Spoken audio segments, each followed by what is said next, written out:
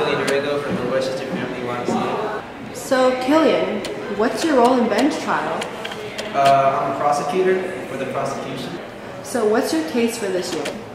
Uh, Riley Stewart versus the state of California. So, Oh. So, in the case that you're currently working on, do you agree with your position? right now, uh, yes, I do, because I should be agreeing with it, because that's what I'm representing. And if I don't believe in it, then I'm case, because Um, I'm Sophia Johnson from SRB Vista Diablo. So, what is your role in bench trial? Um, I'm a prosecutor uh, for the state of California. So, what's your case this year?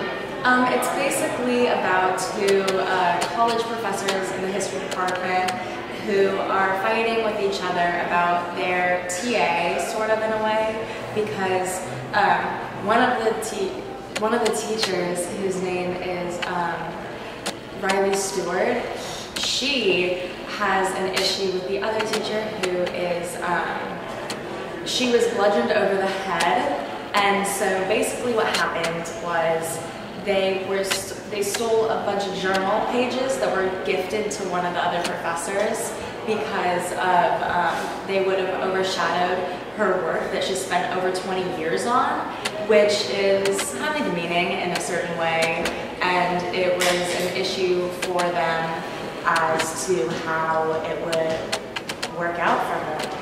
And so when she looked at the way that it was going to turn out, she believed that the only way that she could do it was to steal the pages, and so that's what she did. So, your prosecution, right? Yeah. So, do you agree with your position Um, outside I- of YMG? I really agree with my position. I believe that um, she was at fault in the case and that our person is innocent. And when she was bludgeoned over the head, it was done by Stewart. Hi, my name is Nadia Akbari, and I'm from the Epic Sage delegation. So, what is your role in bench trial this year? So I'm one of the lead delegate facilitators, so I help the defense team at least help with their directs and their crosses, helps with theme and theories, and I try to just do whatever I can to make sure everybody knows what's going on and everybody feels confident in what they're doing. Cool. So, what is your case for this year? So this case has three counts, assault and burglary in the first degree, as well as theft. And it's basically about these two history professors who are fighting over basically who is the better history professor, and one has these journal pages that could ruin the other's career, and then the victim, of course, ends up with an, a, like a head wound and blames the defendant for it. In this case, you are a defense, right? Yes, I'm a defense attorney. So, do you agree with this position?